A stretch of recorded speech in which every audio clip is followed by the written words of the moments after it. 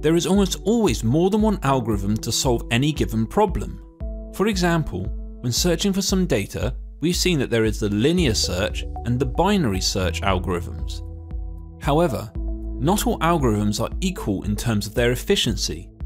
Typically, we measure the efficiency of algorithms in two ways. Time complexity, this is the amount of time the algorithm will take to run, and space complexity, this is the amount of memory the algorithm will need to run. For your GCSE, we only need to concern ourselves with time complexity. Technically, time complexity isn't really a measure of the time it takes to run, because that would be affected by factors outside of your algorithm, such as the speed of the computer's CPU. What we're actually measuring is the number of statements that the algorithm will need to perform. Let's look at an example linear search algorithm written in pseudocode. How many operations would this need to perform? Let's just focus on our loop. Each loop, this algorithm will check if the current item in our list is the one we are looking for, and if it is, it will set found flag to true. However, what happens then? Well, the algorithm will keep running until it is complete. As a trace table, this would look like this. However, what if we made a slight change to this algorithm so the while loop will stop when found flag is set to true. If we now use the trace table to dry run this algorithm, we would get this. You can see that our code has run through the loop three less times, and therefore has had to run the statements in the loop three less times. This reduces the time complexity, making it more efficient. There are other benefits and drawbacks of different algorithms that perform similar tasks. For example, as we've learnt previously, linear and binary search algorithms are both used to search a list for a value, such as a word or number. However, they each have their own benefits and drawbacks. The linear search works on both sorted and unsorted lists of data, whereas the binary search algorithm only works on sorted lists of data.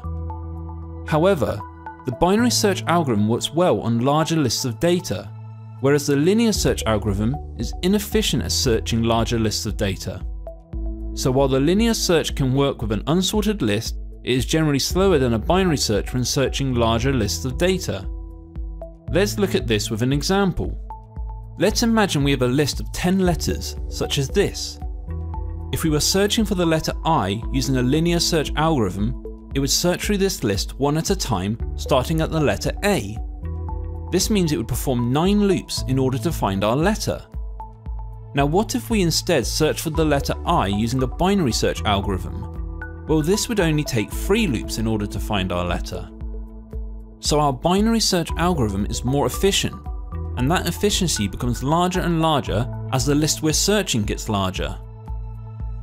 Much like with our searching algorithms, the bubble and merge sort algorithms both perform the same task, they both sort a list of data.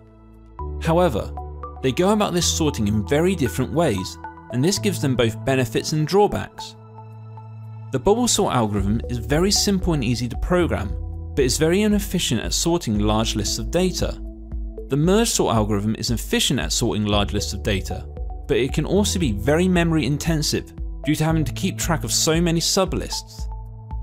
So, while the bubble sort is considered one of the simplest algorithms there is, it is actually quite inefficient.